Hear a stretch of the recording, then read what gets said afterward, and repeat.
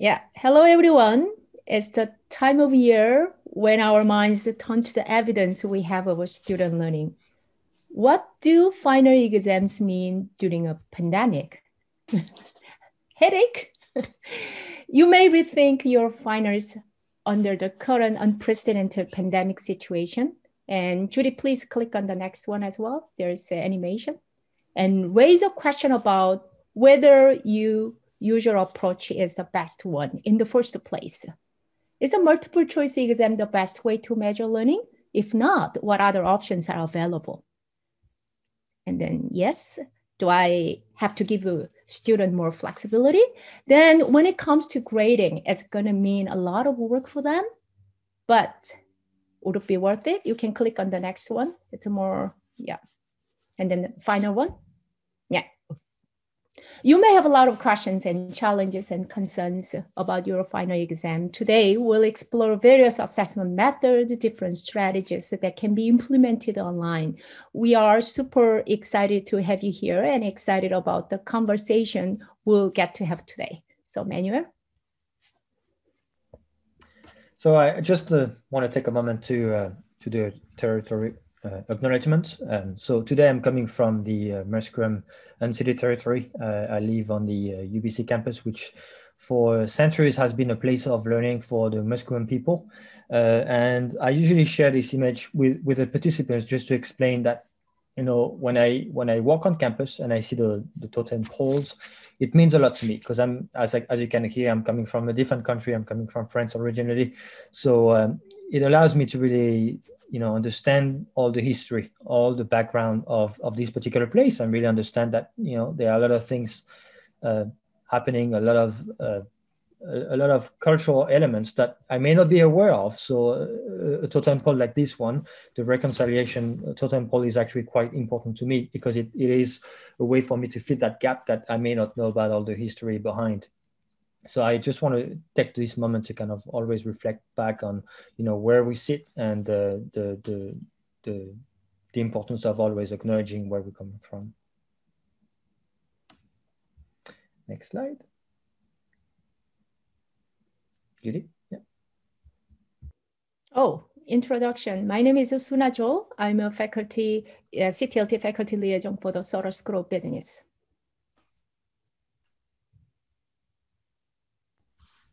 Judy, you're muted. so my name is Judy Chan. I work as an education consultant at the Center for Teaching, Learning, and Technology. I'm also a faculty liaison with the Faculty of Land and Food Systems, and I also taught in the summer.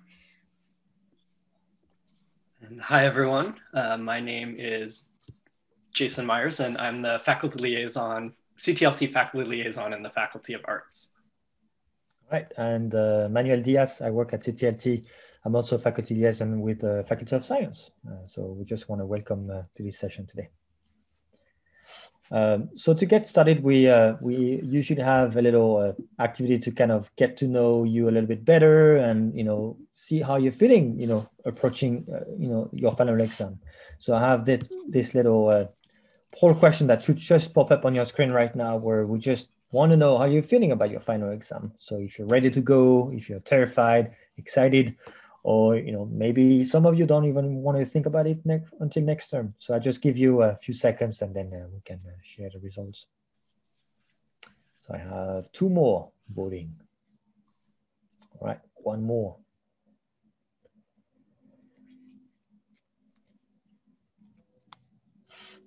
All right, thank you. So we have the perfect distribution. uh, so some of you are ready to go. One of you is terrified, one of you is excited, and one of you is actually don't even think about it until next term. So we have a very good uh, distribution of, uh, of participants uh, today. But uh, you know, feel free to kind of always ask questions. We're going to be also using the, the, the chat right right now, actually, um, so uh, we can actually get to know your expectations a little bit better. Great. Yuri, hoping to find a way to balance between keeping academic integrity, assessing students' learning. All right, so I can see academic integrity is a big concern for you guys today. Andrea, security, open book, closed books. Aha, okay, that's a good question. Right. So rest assured, we, we'll be talking about all these different elements, uh, maybe not in really, really detail, but at the end, we'll, we'll be making sure to talk about the key considerations for you. Um, so certainly talking about security and exam integrity, that's, that's a big thing. Uh, maybe another, another question for you in the chat. I have three, maybe somebody else. I might be missing, uh, well, Grace, you already mentioned. Okay. Yeah, I think we can move on to the next slide. Thank you. Uh, so we, we do have, um, okay, thank you, Andrea, for Proctorio. We'll be talking about Proctorio in a little bit, so I'll, I'll be uh, giving you a sense of you know how it is being used. Uh, so basically, by the end of the session, uh, you should be able to choose one assessment strategy that can be applied online. So from what I, I can see, some of you already have an idea, but you're really interested in, in the uh, integrity of your exam. Applying various design strategies to design an assessment that can help maintain exam integrity. So, you know, we've already anticipated this. And then identify effective techniques to assess student learning online. So we're trying to kind of cover all these things today uh, and really make sure that you leave with something, uh, you know, that can be applied right away online. So this is just a list of, there's many different options you can use for um, delivering your online exam. And here's a list of some of the options that we've heard from instructors that they're using. So as many of you have indicated that you're doing like kind of a traditional timed um, exam using Canvas quizzes, um, multiple choice questions or short answer or essay questions. Um, take home exams are another option that a lot of it, in certain contexts work well um, or a combination of take home and synchronous exams i think similar to uh, what andrea is describing where there's an open book component and then a closed book component within the same exam you could also do a similar thing where you have a take home open book take home component for like a case study or something like that that you want students to have a little bit more time or a writing exercise and then a timed synchronous exam. Um, similarly the the in tray box exercises if you're doing something like a case study um, some instructors have found that distributing the case study ahead of time for students to look at um, and review and analyze on their own before coming to the exam is an effective way because um, when students get the case study right in the exam, sometimes there can be a lot of anxiety and they're rushing to try and understand it. That um, if if they're given it ahead of time, they can take a little bit more thoughtful approach, and then the questions um, that they ask about it, the students won't know those, but they'll have a chance ahead of time to study the actual cases.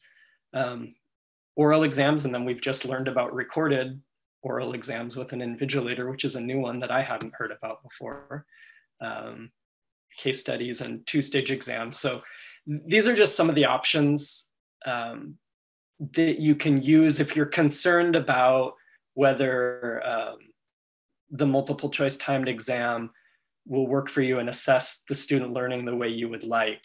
There are options for you. And so um, if you have questions, bring those up and we can go through uh, some of these a little bit more detail later, but um, we just wanted to kind of get some ideas out there to get you thinking about what's available to you. Go ahead, Judy.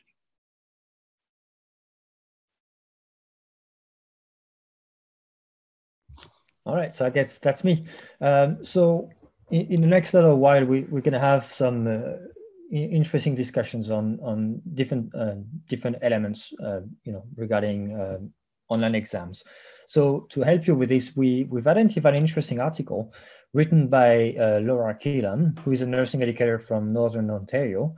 And what she's been doing is just sharing her experience designing or redesigning her online exam or her exam to make it fit for the online delivery.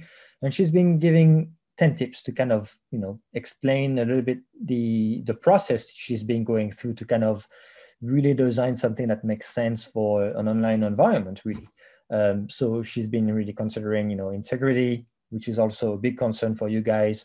And, and she's also coming from a, an accredited program. So the integrity of the exam is key. So that's the reason why, you know, she's studying with this and then giving design tips and uh, talking about authenticity, fairness, flexibility, and choice, choice again. uh, the fact that students matter in the process. So really trying to kind of have something that is uh, targeted, targeted to their specific needs. The aspect of trust, uh, approachability, and well-informed. Because we don't have that much time today, we only have 35 minutes left. We, we've been saving you from going through a long list of items. So basically what we've done is identify four of them. So I think is the next slide. So uh, we're going to spend a little bit of time on, in talking about integrity. Uh, so we're going to be uh, discussing what we mean by integrity and then having two or three guiding questions to kind of help you think about, okay, how does you know integrity look like in my particular context? And then talking about design, we can also talk about students matter. So really having a, a learner-centered approach in, in the way we design exams and talk about approachability and also what it means by that.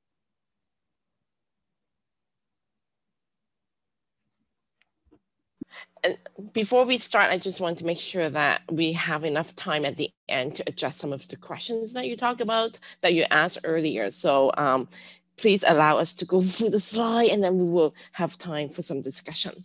So integrity, um, I, I would like to encourage that we talk about integrity throughout the term.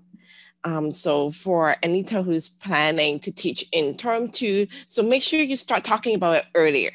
But now, if you're only thinking about it now because it's a final exam, it's not too late.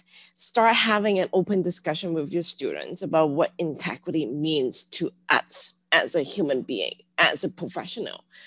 And um, so it's like a piggy promise, a pledge and oath. Um, there are examples that we can follow. Um, before we do that, I'm using the slide to help me we, we also need to make sure that what is allowed for our students to do during the final exam and what is not allowed. Um, because we all teach different courses everyone has a slightly different definitions of integrity. Some of you are going to be doing open books. Some of you is closed book. But what is open book and what is closed book? What is that one page of note? How big is the page? How much information?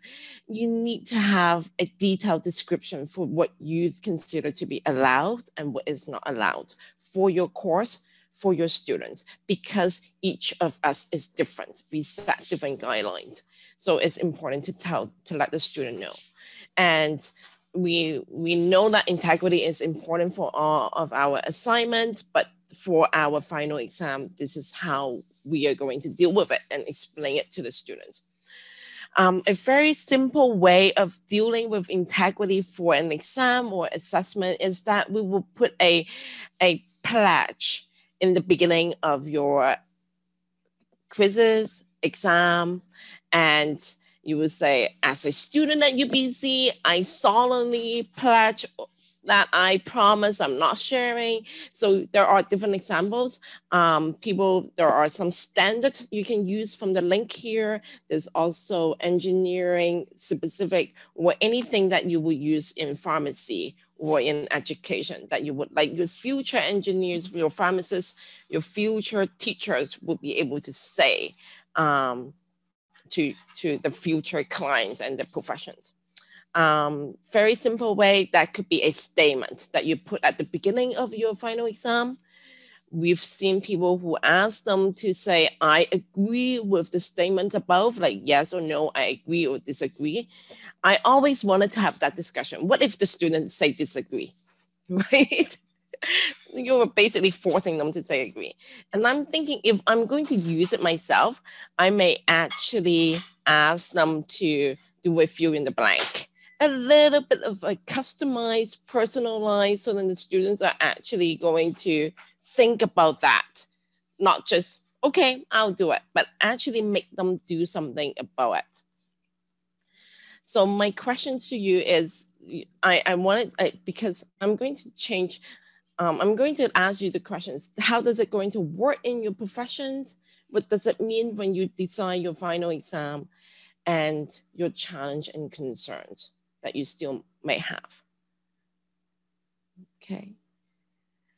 Um, feel free to type your questions and challenge when you're using this um, in integrity pledge. And um, I'm going to move on and um, have more time for discussion later, perhaps. Okay. Wow. Oh, I thought we would be spending a little bit more time in the, uh, integrity piece. Uh, so Andrea just uh, put the link in the in the chat regarding the uh, the final exam uh, integrity pledge. Um, so the design aspect. So in in in this uh, in this place, we just want to talk about if you're planning, depending on what kind of exam you're planning, is trying to have something that talks a bit more about uh, the the uh, higher level skills that you'd like to measure, and not necessarily the information that you expect students to recall. So trying to have something a bit more complex. Um, so in, in, in this particular case, um, the uh, Laura was kind of explaining, well, you know, having high level type of questions that require a little bit more thinking, a little bit more time instead of having, I would say, simple level multiple choice questions. So that was kind of a strategy that she really try, try to kind of, uh, you know, share with, with us basically. So um, I don't know if you've heard, but we, we tend to refer to the Bloom's taxonomy um, when we try to kind of come up with higher level thinking type of questions. Um, so you know you have six different levels of complexity, I would say. So um, if you if you look a little bit at the type of exam that you have, really think about uh, you know if you could change some of the, the the the questions that you have and really trying to kind of measure very specific skills, maybe more complex skills. Uh, so that that that sort of things. So the Design exams not necessarily focusing on the recall of information, but really the application of knowledge maybe. Uh, creating questions that mostly require students to use more than one piece of information. So trying to have them, uh, again, look for resources, use a little bit more creative, uh, creative thinking in their, in their approach, uh, which is something that we, we could do. And, and the design, the reason why we, we emphasize on design is that you know, sometime when you you know you have something online you may go a little bit higher than what you know what you've been doing before. Uh, so based on that particular design aspect you know think about you know how would this uh, influence the design of your final exam? What are the things that you could pot- potentially change assuming some of you you know uh, already have let's say a, a, quiz that is you know having multiple choice questions? I have to you know, what are the things that you could change in those multiple choice questions to kind of really measure something a bit more specific, maybe? And, and what could be the challenges or concerns you know taking this approach you know maybe a concern around the time that we would take to retake you know to change some of those things or always make sure that you know you're still measuring what you're supposed to measure. Um, so the, the second piece with the design and when we talk about assessment is always make sure there is a good alignment with your learning objectives. Um, so I, I, I can imagine for uh, I think Andrea, you're coming from an accredited program, um, you always have to make sure that there is a clear alignment with your, uh, uh, I would say, program outcomes that you know you're measuring what you're supposed to measure. Uh, but I, I, would say it's always good to kind of take uh, more like a reflective approach and look back at what you currently have and what are the things that you could potentially change. So then it's not necessarily uh, uh just recall of information. So that's the that's the reason why we really focused on design on this aspect.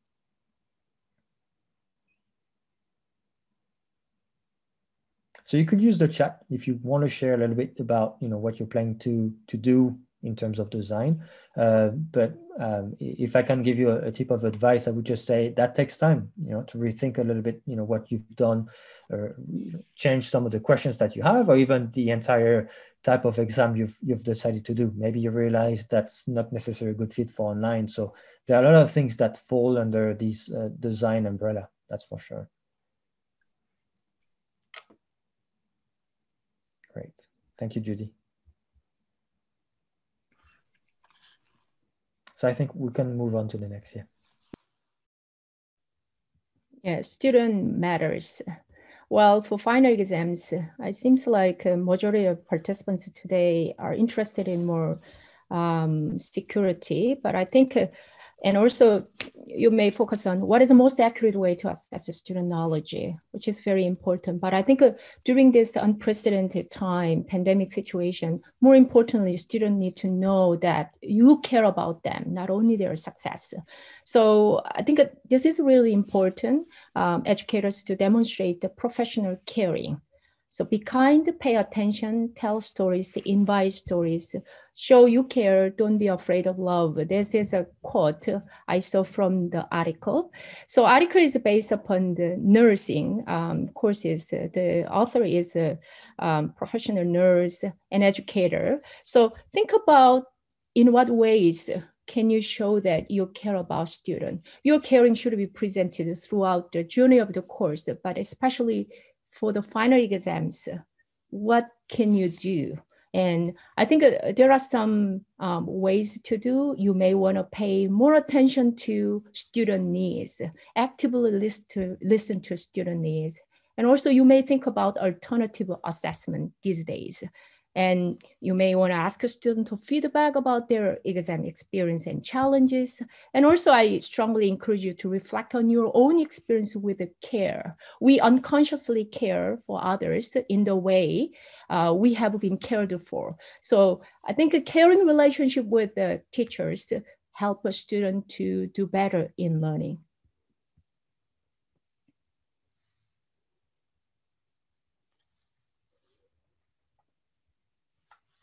Yeah, we can move on to the next one. Judy. I think go back, back one. There we go. So I think, and this relates a lot to what Suna was just talking about, but um, when you're setting up your final exam, it's important to have a plan for how you will communicate with students. Um, and think about not just you know you communicating ahead of time what the expectations are which is really important to be more clear more clear than normal um, just because students will have anxiety about doing a, an exam online and it's important for them to understand what to expect. There's a lot to deal with with the technology setup especially if you're using any type of proctoring tools that um, students can get anxious about that. And so just being very upfront about the expectations um, can be really helpful. But also during the exam and then after it's completed. So no matter how much preparation you have, there's always bound to be some type of technical glitch or someone's Wi-Fi has problems or a computer issue. Something can go wrong during the exam, and it's important to have uh, a space that you can use that's students are well communicated told about ahead of time where students can contact you during the exam and you can deal with those issues as they arise and that you have a procedure for that. Um, so, I mean, some strategies the instructors have used is like to set up a, a room in Zoom where instruct where students can go in there and you'll have a TA or yourself in there that you can help troubleshoot problems or giving them contact information, an email or a phone number and and having a strategy for how that'll work. And then also becoming if you're doing any type of timed exam becoming familiar with the tools in canvas for how you could um, make small adjustments to a student's um, exam and see the history of what they've done so you can monitor those as they happen. Um, but another thing that's just very good to do up front is to engage students in a conversation about it about the exam and find out what are the issues that they're concerned about. And if you've done midterm exams, get their feedback on how that's gone for them, what have been their challenges, what they've liked, what they haven't liked. And you can use that information to help you. So I had a conversation with uh, Matt Yedlin, who's a professor in electrical engineering the other day, and he was telling me about in his course what he did is um, he had two midterm exams, so two midterms and a final. And he said after the first midterm exam, um, he created a discussion forum in the course and opened it up immediately after the exam. And he described it as a pressure valve release that students got out of the exam and there's a lot of emotions and frustrations and um, nervousness about how they did and just had the students share what their experience was in there. And then students expressed a lot of concern about certain elements and they were able to address a lot of those for the second midterm. And then he said it went much better, but they still um, were able to get some constructive feedback and so he said he feels a lot better going into the final exam because they've been engaged with the students about this. And then it's also lessened the anxiety of the students because they feel like they've had um, more agency in contributing to uh, how the course is going and that their concerns are being heard. Okay, effective techniques to assess the student learning online. Well, I think this is more like uh, food for thoughts. So today, I think many of you are interested in security pieces rather than more like a higher level thinking about you know what we can do during this pandemic but i think uh, to me learning takes place in students heads where it is invisible to others this means that learning must be assessed through performance so what student can do with their learning consider various ways to assess the student performance so formal informal high low stake anonymous or public individual collective hopefully you can think about multiple choice uh, questions are so effective because you will get the result uh, immediately. But I think uh, during this time of the year, during this uh, pandemic situation, you may think about some equity and inclusion uh, aspect as well.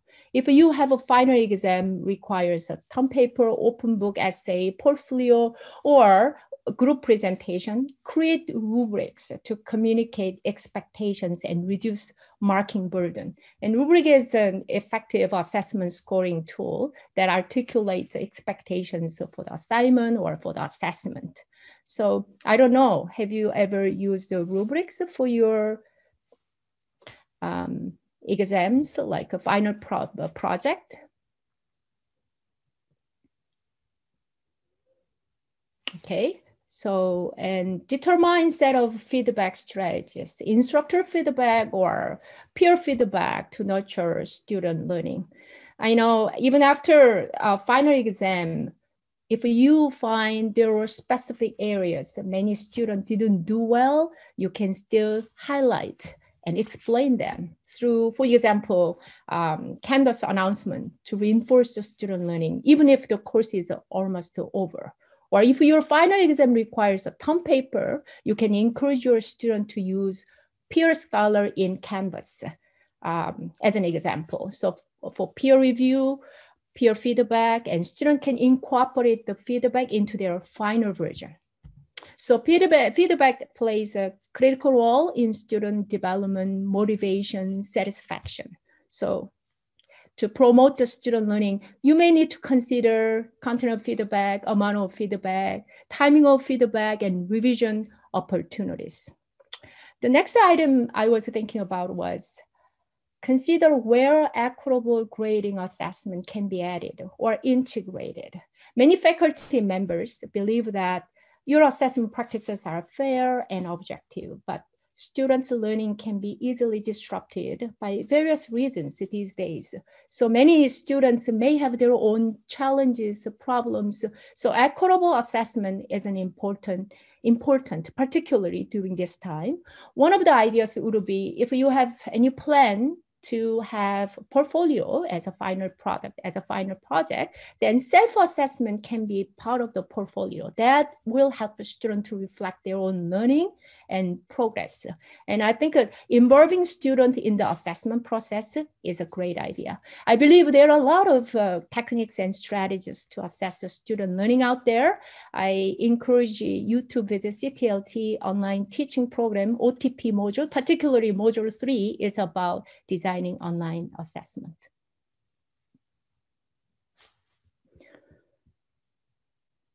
And we have some so, key considerations.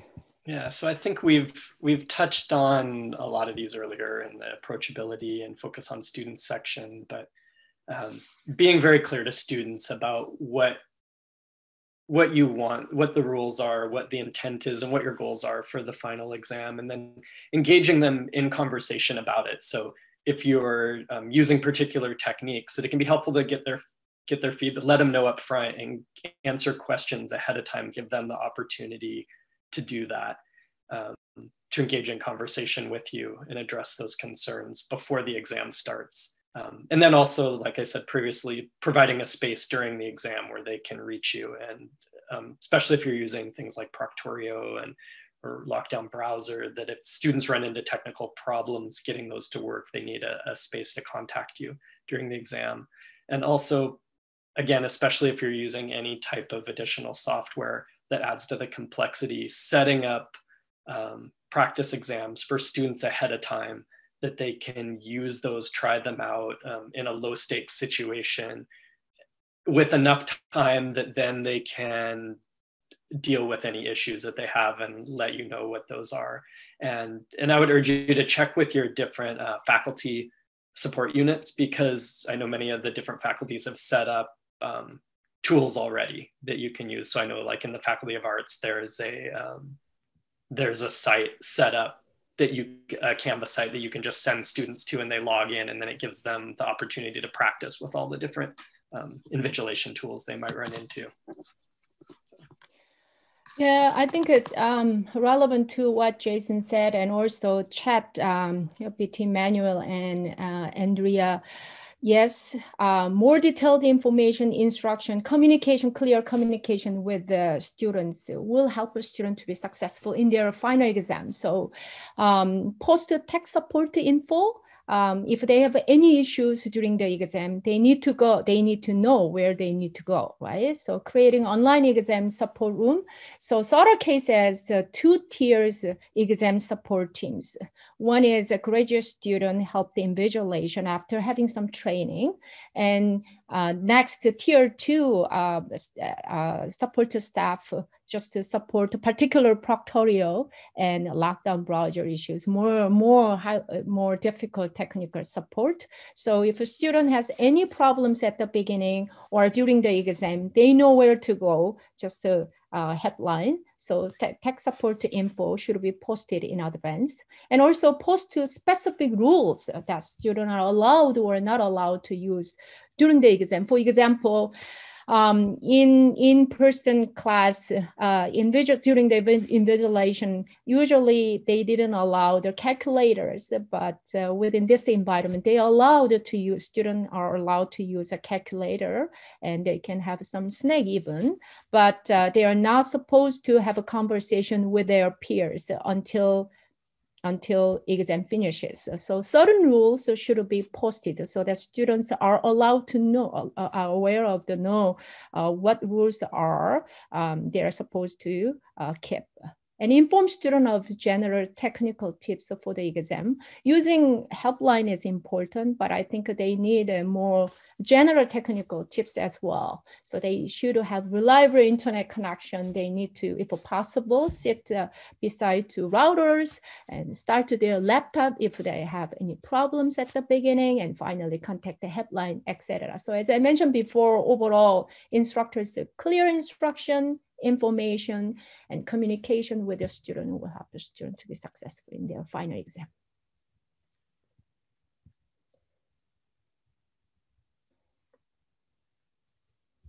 Any questions?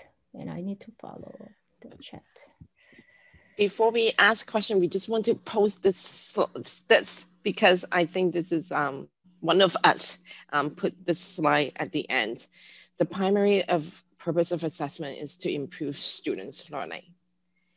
And I, I think we need to continue to keep this in our head as we develop our final exam